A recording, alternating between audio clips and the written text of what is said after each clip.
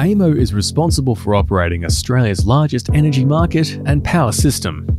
Our job is to deliver secure and reliable energy to consumers at the lowest cost. We need to make sure the National Electricity Market, or the NEM as we call it, and the Critical Transmission Network, which is the backbone of our power system, are ready to take on the challenges and opportunities brought about by Australia's changing energy landscape. The NEM power system spans nearly 50,000 kilometres of high voltage transmission lines across Australia's eastern and southeastern seaboard. It operates across five states that are connected through high voltage transmission cables, which enable the flow of electricity between regions. The physics of the power system means the electricity supplied by generators must constantly be matched with how much electricity is being used by consumers. The spot market is the mechanism AEMO uses to match the electricity supply from generators with real-time consumption by households and businesses, dispatching the lowest cost electricity before more expensive options. This tells generators how much electricity is needed at any moment in time to keep the physical power system in balance.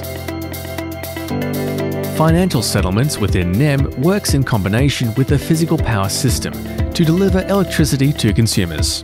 Energy produced from generators is converted to high voltage electricity by generator transformers housed in terminal stations or substations. It then travels long distances via high voltage transmission lines, which can be accessed directly by large industrial customers.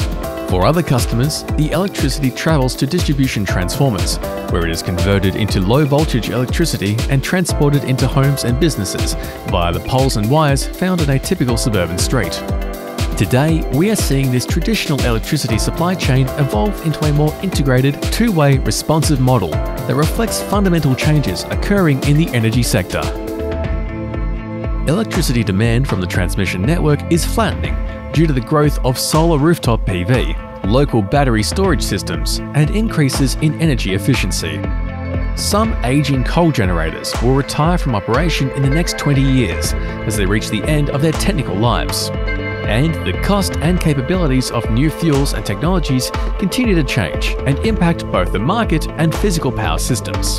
For example, the cost of renewable generation continues to fall, and storage technologies and distributed energy resources are emerging as core components in a low cost and reliable energy future. For AEMO, this changing context is creating opportunities to collaborate with stakeholders and make the NEM more innovative, competitive, and efficient for consumers. AEMO is working with industry, governments, and consumers to manage this transition on an integrated energy system basis, from consumer to supply, at the least risk to the power system and the lowest cost to consumers. We have started this work with our integrated system plan, which presents a strategic long-term approach to future generation and transmission development in the NEM to ensure the ongoing reliability and security of the power system.